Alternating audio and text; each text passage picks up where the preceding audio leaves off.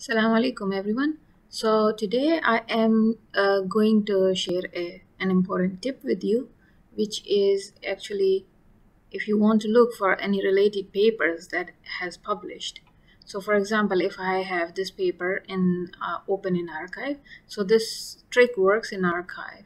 Um, in arXiv when you are looking at the abstracts and go down you will see there are some tabs here so you go to the related papers and this might be switched off then switch this one on then you will see there is something uh, at the end. So you just click on this link and you see there is waiting for a server. So we will wait for the server.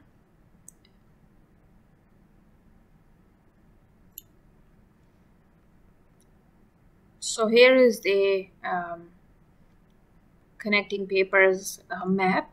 And as you can see that as the um, it's closer to the date when it was published than from the latest one the darkest color and the lightest color is the one which has.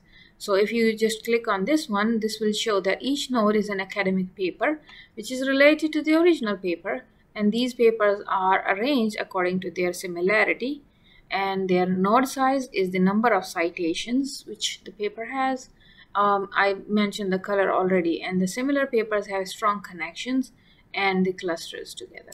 So this is the part for example if I go for this one so I see that there is another paper about the fast radio burst here um, which I can actually make another connecting paper for that as well or at least I can see that what are the papers which are really um, related to this one for example if I see this one or if I see this one. So these are 2020 papers. Uh, this paper is the one which I am actually using for that.